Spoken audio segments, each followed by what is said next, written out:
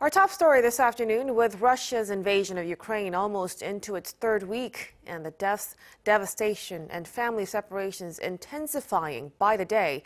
The international community is ramping up efforts to support the war torn country and to try and deter Moscow from further attacks by holding talks and vowing to send more military support to Ukraine. The UN Security Council also held a briefing on the situation. Song Yoo-jin with the latest. Entering the 13th day since the start of Russia's invasion of Ukraine, the United Nations Security Council held a briefing on Ukraine's humanitarian situation Monday local time. The U.S. and its allies urged Russia to allow the safe evacuation of civilians and aid to battlegrounds after Moscow was accused of offering evacuation routes, which led to Russia and its key ally, Belarus.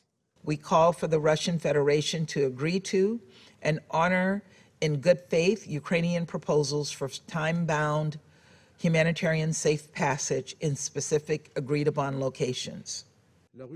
Russia is advocating humanitarian corridors towards Russia. I don't know of too many Ukrainians who wish to seek refuge in Russia. This is hypocrisy. The Office of the UN High Commissioner for Human Rights has confirmed that at least 406 civilians, including 27 children, have lost their lives since Russia began attacks. However, the real figure is likely to be higher as intense fighting has resulted in delays transferring information. The agency added that more than 1.7 million people have left Ukraine following Moscow's attack. Meanwhile, in an effort to support U.S. forces in Europe in response to Russia's invasion of Ukraine, the U.S. Department of Defense has ordered the deployment of additional troops and military assets to different parts of Europe.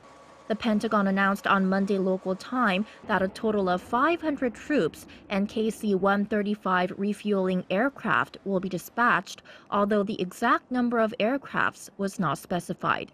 This will bring the total number of U.S. military personnel currently stationed in Europe to around 100,000.